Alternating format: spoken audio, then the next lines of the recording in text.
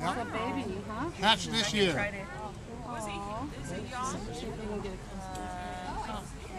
Got it? Well, it, okay, we can do that. But I'd let you know. if you You said uh, the majority of them don't make it to the first year. What is the reason for that? Well, they got migration hazards. Gulf of Mexico is one good reason. Cats is a primary problem. Anyhow, Could you put your hand up just a little?